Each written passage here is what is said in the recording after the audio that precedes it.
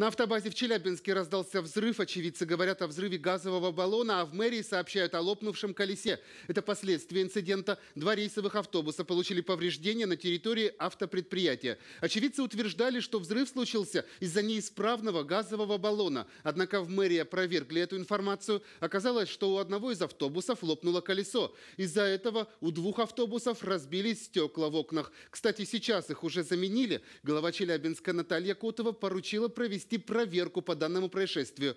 А в Челябинске на проспекте Победы столкнулись две легковушки от удара. Одна из них вылетела на трамвайные пути. В результате движение вагонов на этом участке оказалось парализовано. В тракторозаводском районе таксист сбил велосипедистку на переходе, а затем скрылся с места ДТП. Девушка получила травмы, лихача ищут. Еще один пешеход попал под колеса автомобиля в Снежинске.